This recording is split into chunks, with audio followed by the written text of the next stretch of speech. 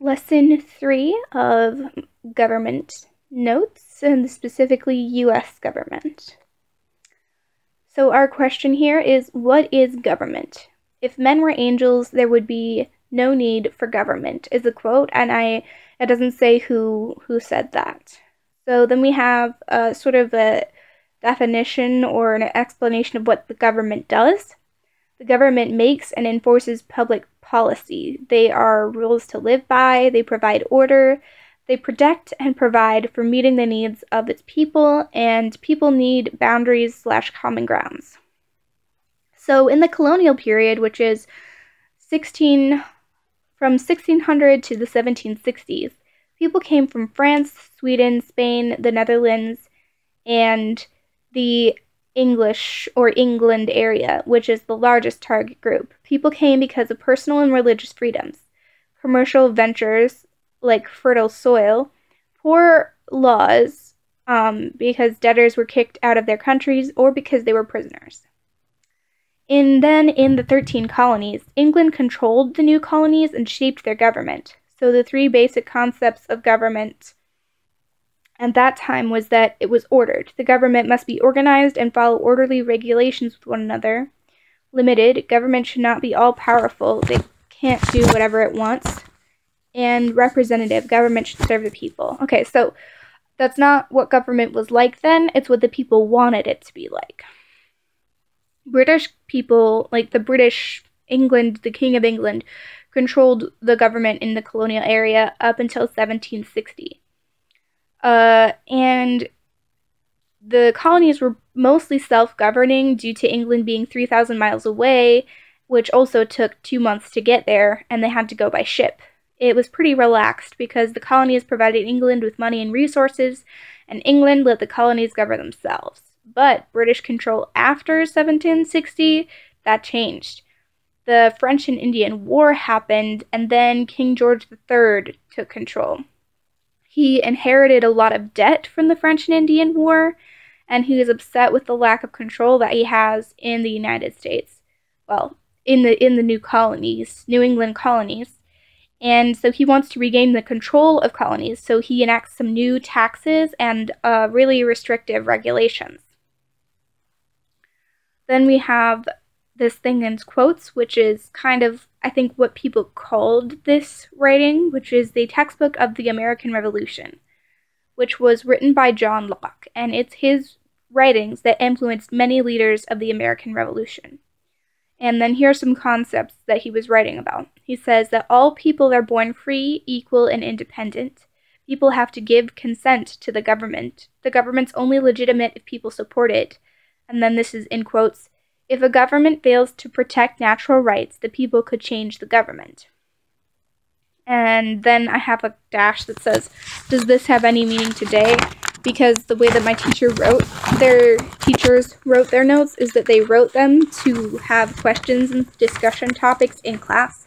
But because we're watching what they wrote on YouTube, uh, we can't really. It's not like a Zoom class, so it's it's less interactive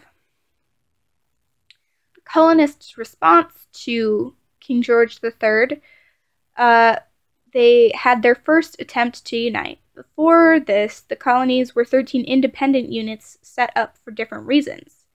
But then the Stamp Act Congress happened, which the Stamp Act was a harsh trade and tax policies on all legal documents, newspapers, and business papers. The colonists claimed that this was taxation without representation, and then there's a question that says, why do we pay taxes?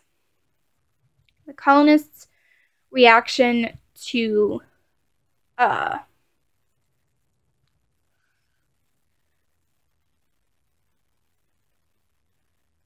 hmm, I'm just confused about what I wrote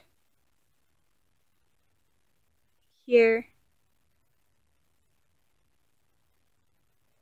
Colonists' reaction to uh, this Stamp Act. They got frustrated, then they became violent because they felt like they had no choice. So, the first national government in the United States, we had a first and the second Continental Congress. By force of circumstance, It was really temporary. It had no constitutional authority but served as an acting government during the war. The Revolutionary War breaks out in April of 1775. We are fighting for our freedom. No more strong government. We want our own. Uh, at the time of the uh, continental continental congresses, it was a unicameral congress, which means there was only one house. A bicameral congress has two congresses, two houses, and our congress today has two houses, which is the Senate and the House of Representatives. Then we have the Declaration of Independence. On July 4th, 1776, we wrote the Declaration of Independence that announced we are independent from England and listed the reasons why we are revolting. that's all of lesson three, and I'm thinking I'm probably going to end up putting two lessons in every video, so that's going to be fun. Uh, but I hope you guys are learning things. United States Government Lesson 4.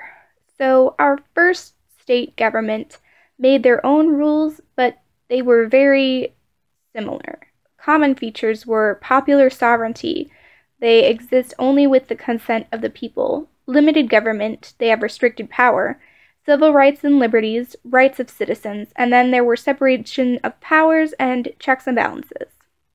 The first national constitution in the Second Continental Congress, there was a temporary government which was replaced by our new constitution, which was called the Articles of Confederation. And this constitution was very weak on purpose.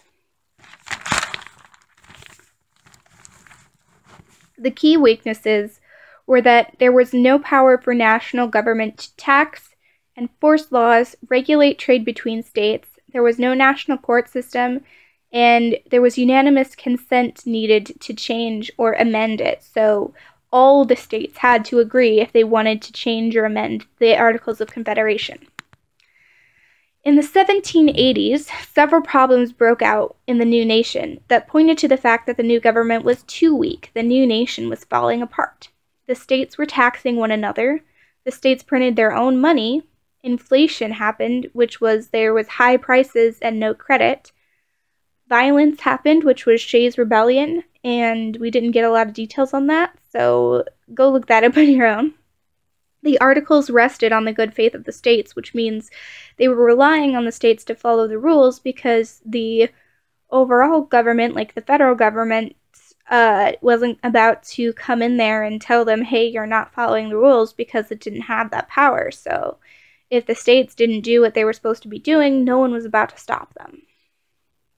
So, creating the US Constitution. And what we have here is a term that my teachers are using called the framers, but that basically just means the people who helped write and set up the Constitution and the United States government. And the framers were all white, male, under 41, educated, experienced, and owned property. The creation of the Constitution was kept secret until it was ready. James Madison kept notes, but it was free from outside influence, the decision to write the new Constitution.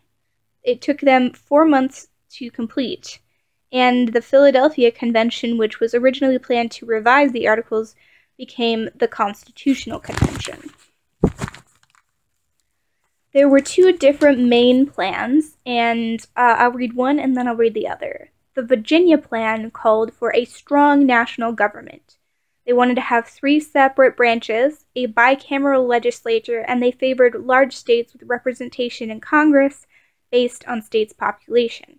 So that meant that they wanted to have a state that had more people get um, more representatives in Congress, and then in states that had fewer people living in them have more have fewer people representing them in Congress, which would mean that the larger states would have an advantage.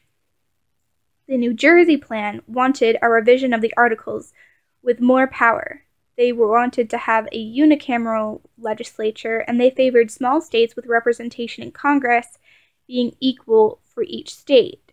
One state, every state would get one delegate, and each delegate would get one vote, no matter the size of the state. Because neither of these, um, neither the Virginia plan nor the New Jersey plan was exactly what everybody wanted. They did something called the Connecticut Compromise. So the issue was how to determine representation in Congress. The opponents were the large versus small states. It was resolved by creating a bicameral legislature. The House was based on population and the Senate was equal so that you would have two representatives per state. Then we had the Three Fifths Compromise. The issue was how to count slaves for taxes and representation in Congress. The opponents were the North versus the South, and this was resolved by saying that they would count every five slaves as three people for both taxes and representation. Obviously, uh, slavery was wrong and is wrong, and we don't support that, but it was a part of history, so we still have to learn about it, and that's why we are learning about that specific part of the Constitution and uh, how it was made. So, Commerce and Slave Trade Compromise the issue was the taxation of the exports and slaves trade, which was the opponents were the North versus the South again. And it was resolved by the national government would be forbidden to tax exports and would not interfere with the slave trade for 20 years. The next section is called ratifying the Constitution. And ratifying basically just means confirming or like allowing it to happen.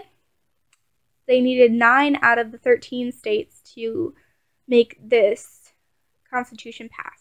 Federalists favored the new constitution, and they argued for it by saying, look what happened to the nation under the weak Articles of Confederation. We had a lot of problems, the country was falling apart.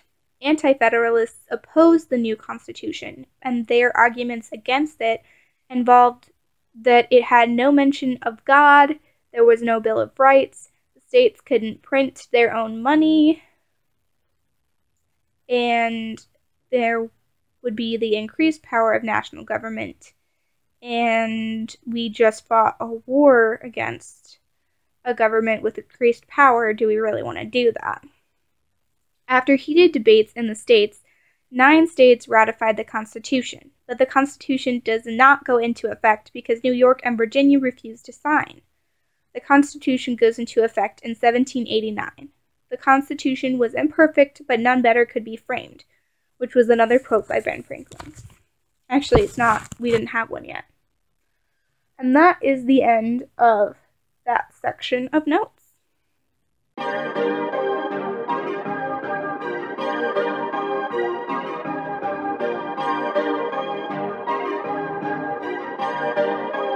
Perfect.